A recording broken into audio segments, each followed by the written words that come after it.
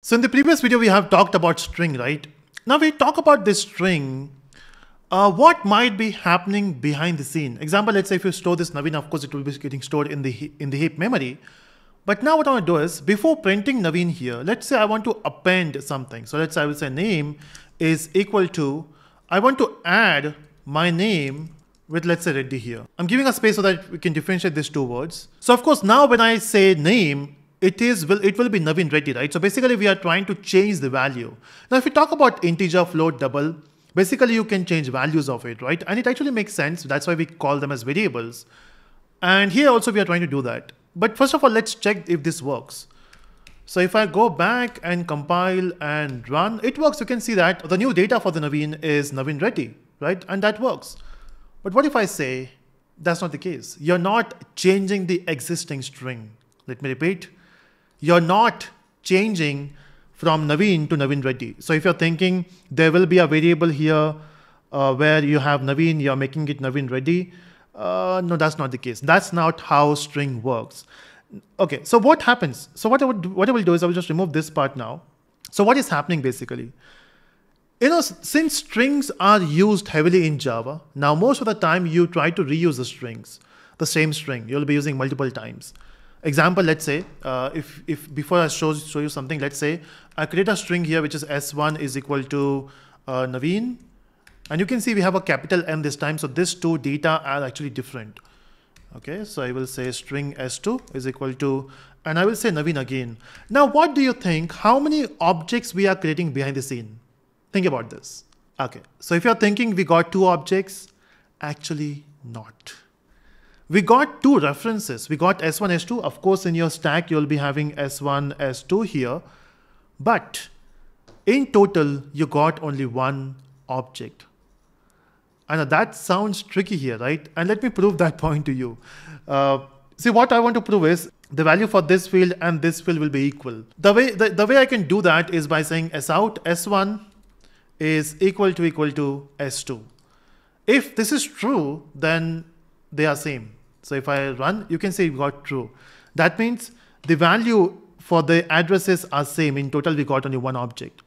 So here, what happens is we have a special area inside your heap memory. So this is your heap, that's your JVM, and that's your stack.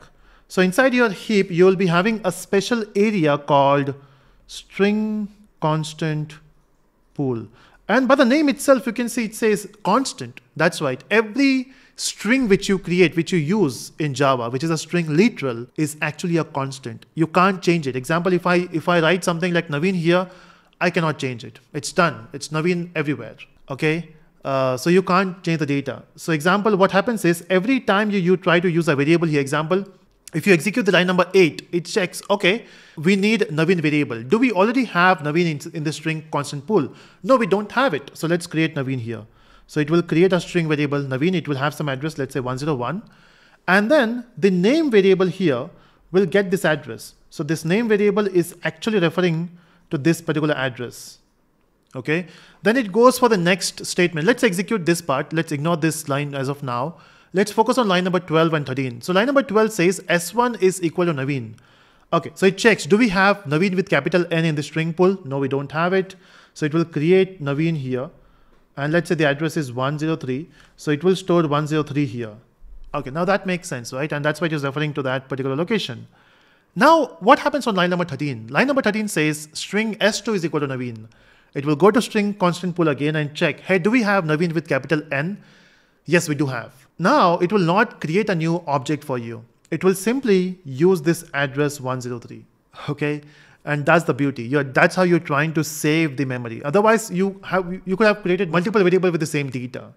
So it doesn't make sense, right? And that's why it uses a string constant pool.